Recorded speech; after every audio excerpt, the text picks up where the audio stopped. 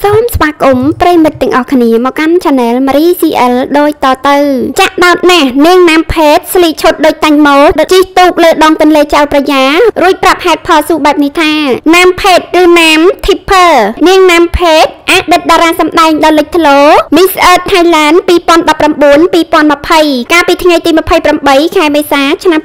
2022បានបង្ហោះឃ្លីបមួយខណៈជិះទូកនៅកណ្ដាលទន្លេចៅប្រយ៉ាដោយស្ថិតក្នុងឈុតដ៏គួរឲ្យចាប់អារម្មណ៍ដែលមនុស្សជាច្រើនចាត់ទុកថាជារោគស្រដៀងនឹងតាញ់ម៉ូនីដាក្នុងថ្ងៃដែលនាងលងទឹកស្លាប់តែម្ដង ជាមួយរូបបង្កប់ភាពសិចស៊ីដ៏តាក់ទាញនេះនាងបានបង្ហោះថារោងចាំម៉ូត portrait ថ្មីរបស់ខ្ញុំចេញឆាប់ឆាប់នេះនិងបន្ទាប់មកនាងក៏បានដាក់ឃ្លីបនៅលើ TikTok ដោយភ្ជាប់ខបសិនក្នុងន័យចំអកតាក់ទងការស្លាប់តារាស្រីតាញ់ម៉ូថានៅមិនចេញទេជិះទូកលេងតាមដងទន្លេចៅប្រយ៉ាតែទោះជាយ៉ាងណាឃ្លីបរបស់នាងបានធ្វើឲ្យអ្នកលេងអ៊ីនធឺណិតមួយចំនួនដែលមិនយល់អត្តន័យបានមិនពេញចិត្តនោះដោយពួកគេនិយាយថានេះជារឿងមិនគួរធ្វើព្រោះវាមិនមែនជាពេលវេលាត្រឹមត្រូវក្នុងនោះអ្នកខ្លះថាតើនាងណាមភេទចេញមកធ្វើបែបនេះក្នុងន័យយ៉ាងណាការឆ្លើយតបទៅនឹងអ្នកមិនយល់ម្នាក់ក្នុងចំណោមពួកគេទេដែលមានឈ្មោះម៉ាយ៉ារាវិសយាដែលត្រូវជាមិត្តភក្តិរបស់តាញ់មកនិងក៏ស្ថិតក្នុងក្រុមអាណាបាននិយាយថាឃ្លីបមួយនេះពិតជាជក់ចិត្តខ្លាំងណាស់និងសូម្បីនិយាយថា